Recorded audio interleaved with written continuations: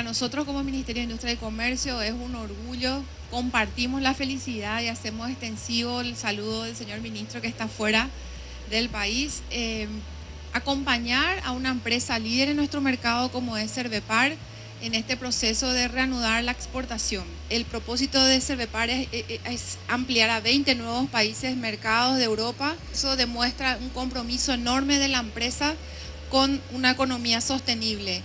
No solamente eh, conquistó el mercado nacional, porque eh, Cervepar tiene gran parte del mercado nacional de cerveza, sino que ahora está eh, entrando en uno de los mercados más exigentes del mundo. Realmente mueve mucho dinero, genera mucho bienestar a muchas familias, ¿verdad? La economía circular es la base ya de producción eh, de Cervepar para, sus productos y eso hace también que, que, que le sea posible entrar a Europa y le va a ser posible seguir entrando en muchos otros mercados cada vez más exigentes y por ese mismo motivo también más atractivo para nuestro país. Para Cervepar hoy es un día histórico que marca un hito donde la cerveza líder del, del, mercado nacional desde hace 112 años hoy sale eh, para conquistar otros mercados.